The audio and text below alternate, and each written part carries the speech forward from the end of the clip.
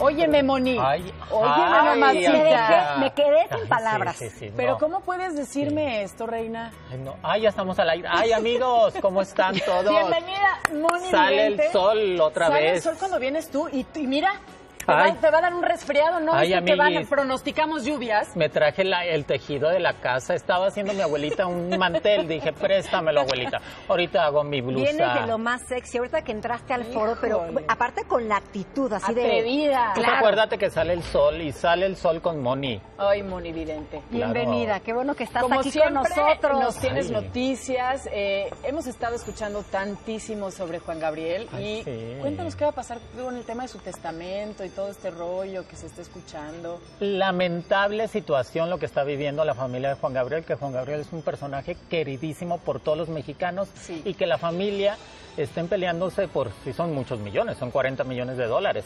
No, bueno. Sí, pero ahí te das cuenta que, ¿cómo no? Entre más dinero, más quieres. Pero yo creo que todavía falta un fallecimiento más por parte de la familia de Juan Gabriel. Yo creo que viene falleciendo uno de los hijos o uno de los hermanos de Juan Gabriel que va a, va a va a acabar en tragedia eso. Lamentablemente yo creo que va a haber como unas tres o cuatro demandas contra el albacea, que es el hijo legítimo, y yo creo que le salen todavía dos hijos más. De plano. Sí, que lo más raro es que Juan Gabriel pues decían que era, pero ya con tantos hijos. O sea que la historia apenas comienza. Sí, yo Ay, creo que- Como novela, mamá. Sí, como yo creo que nos vamos a aventar fácil todavía un año hablando de Juan Gabriel, que en paz descanse, que está con Dios, pero lamentablemente esto va a acabar muy mal, con muchas demandas, sin poder reclamar su dinero y todavía viene falleciendo uno de los hijos o uno de los sobrinos de Juan Gabriel por una tragedia. Bien lo dices que en paz descanse, ya déjenlo descansar al pobrecito. Sí. Oye, Moni, por ahí escuché que me dio Sí. muchísima tristeza porque aparte se me hace una chava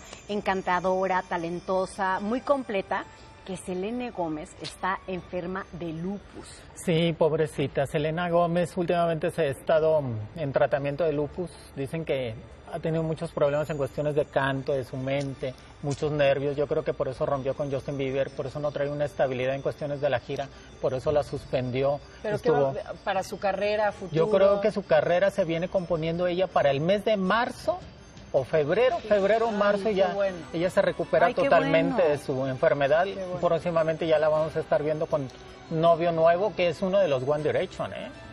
¿Juan qué? One Direction. Esa Oye, es la actitud One Pero Direction. podría ser como su hijo, ¿no? ¿O no? No, pues son de la misma edad. Selena debe tener unos 24 y estos niños deben tener unos 24 o ¿Sí? 25 años. Yo pensé que yo era creo- más grande ella. Sí, Mira. yo creo que ella va a traer pareja y ya la vamos a estar viendo mejor que nunca y otra vez haciendo gira y sí va a venir a México. Oye, y uno de los cantantes que yo admiro, su voz, son de esas voces que cuando la escuchas de verdad sí te hacen vibrar y te llegan a poco no. La voz de Alejandro Fernández es un espectáculo.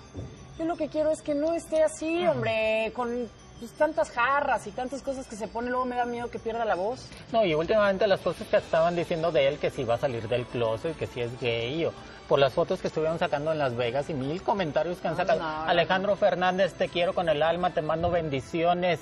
Vente conmigo, vámonos de rol ahí por ahí. Tú No, no, le no, andes no, creyendo no, a esa no. gente. No se crean cosas, amigos. Yo no lo veo a Alejandro que ahorita, en este momento, sea gay ni que vaya a salir del No, closet. Yo creo que nos va a dar la sorpresa que a lo mejor se nos viene casando para el mes de diciembre o en marzo con esta Carlita o con una de sus novias jovencitas. Así que para quitarnos ya toda la duda de que si es gay o no. Pero se puede divertir él. Que él sea tiene- feliz. Sí, él tiene todo el derecho al mundo, ya con cinco hijos, tres matrimonios. Pues qué ¿Ya más? tienes, tienes cinco hijos? Que ¿En sí. serio? Cuatro, Sí, que se divierta, sí. pero que se sienta bien con lo que le está haciendo. A mí se me hace extraordinario. Es de un verdad, talento un besote, andando. Alejandro Sí, Fernández. que nos siga cantando mucho. Ven Alejandro, te invitamos aquí. Sí. Oye, Ven Moni. para acá.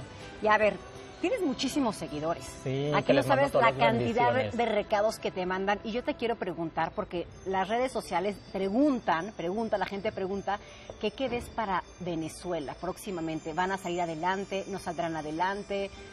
Dinos, por favor, buenas noticias para toda la gente de Venezuela. Sí, acuérdense que Venezuela es un país ahorita algo castigado por toda la situación que está viviendo. Acuérdate que el ser humano le puede, te puede aguantar todo menos el no comer. Cuando tú le quitas la comida al pueblo, inmediatamente se va a levantar. Así que yo creo que Venezuela desde el día de mañana, miércoles, amigos, desde este mes de octubre, durante siete meses seguidos, van a poder salir de esa dictadura que lamentablemente ya tienen más de 15 o 16 años eh, sufriendo por cuestiones del primero el chavismo, ahora con el presidente Maduro, que yo creo que van a tener que salir por medio de un golpe de Estado o una situación fuerte.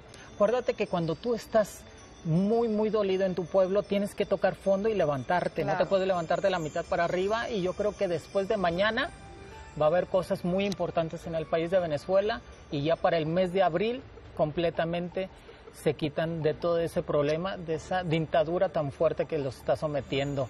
Pero van a tener que llegar a situaciones muy, muy, muy, fuertes. Sí, muy drásticas. Bueno, Bendiciones, los quiero. Hablando, hablando de la güera. Claro, la güera, ronquita.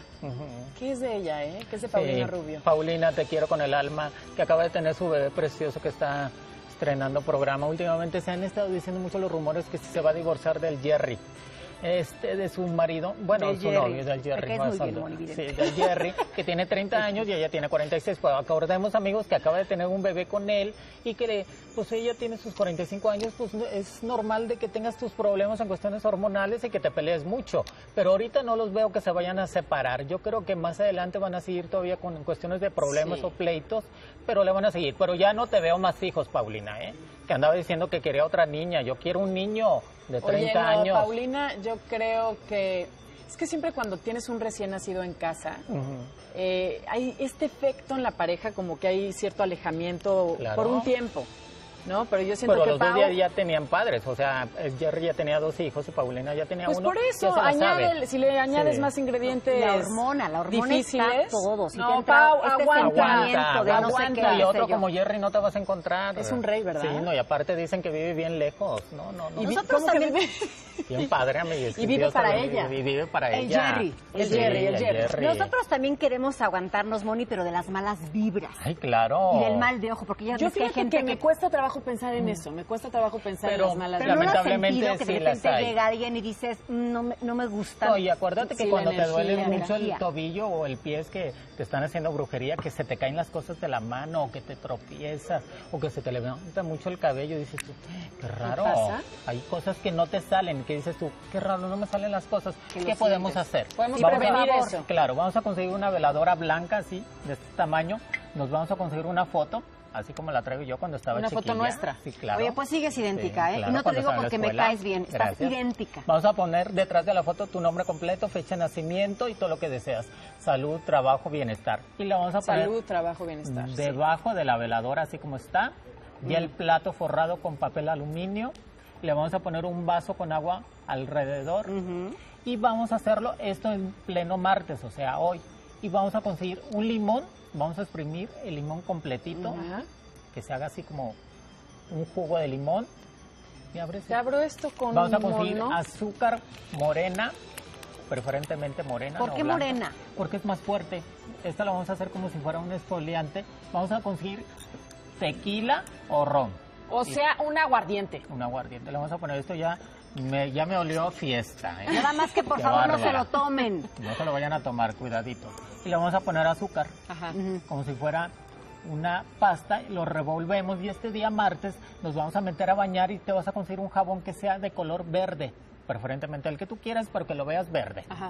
Te vas a bañar con ese jabón y después te vas a tallar en todo tu cuerpo con la con el azúcar, el limón y el tequila o el ron en todo el cuerpo. Te duras como unos tres minutos, te enjuagas y te bañas. Y después saliendo de bañar, prendes la veladora, le rezas un Padre Nuestro, una Ave María, le pides al Arcángel Miguel que te proteja de todas esas energías y te libera completamente. Después de eso te vas a poner una loción de naranja o de siete machos en todo el cuerpo para que corte completamente todo. Todo, todo en tu cuerpo te pones spray de esto. De naranja está fácil conseguirlo. Sí. La flor de naranja. Sí. lo ¿Y esta para donde sea. Es lo mismo, esta es la flor ah, de la naranja. Colonia. La colonia flor de naranja. ¿A qué huele?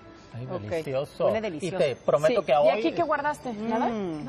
Ah. Aquí venía mi foto. Ok, La tengo que estar guardando. ¿Y esto lo hacemos cada cuánto tiempo? Cada, preferentemente cada, una vez al mes para quitarte todas esas energías negativas y con esta pócima, al momento que tú te estás tallando, te vas quitando todas esas cosas que la gente te dice, ay, Moni, ¿por qué tiene cuerpazo? Ay, porque así nací. Y entonces ya te quitas. Ya te vas quitando todo y prendes tu veladora. Al momento que se acaba la veladora, tú la quitas, tiras el vaso con agua a la calle, guardas tu foto en la cartera otra vez y ahí la dejas y vas a ver que mínimo, perdón, mínimo unos tres meses se te va a estar quitando todo. Ah, es pues- que me dio frío, es que anoche estaba... No, es que chula, si sales así Sí. como ¿Cómo no, no? bueno, Sí, cualquiera. Desde anoche Te va a dar angina de pecho, Dios. Desde anoche estaba así, pues me, me agarró un aire colado por ahí. ya lo sé. Sí, Sí, hasta se últimamente. te inflamó la angina, Sí, ¿eh? últimamente como que traía angina de pecho. Sí, a ver si me contagias un poquito de esa Sí, andaba malita, pero primero muerta que sencilla y aquí estoy. Muchísimas gracias, gracias, Moni. Gracias por haber estado ¿Nos con vemos el nosotros. jueves que Sí, entra? si Dios Ya quiere, el seguro, jueves les ¿eh? Perfecto. una receta buenísima para ya casarnos. Últimamente faltan muchos hombres. Faltan muchos hombres. Perfecto, entonces nos vemos el jueves. Sí, claro. Ok. Gracias, Moni.